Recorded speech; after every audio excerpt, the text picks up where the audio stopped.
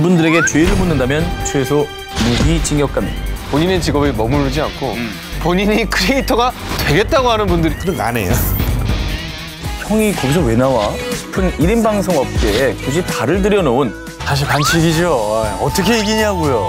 이거 아무도 안 해요. 아, 비교가 되지 왜 안 돼? 혹시 뭐 정 기자님 음. 어떤 걸 해보고 싶으세요? 진짜로 생각을 해놓은 건 있어요. 음. 정말로 청천벽력 같은 나한테 보내는 거다.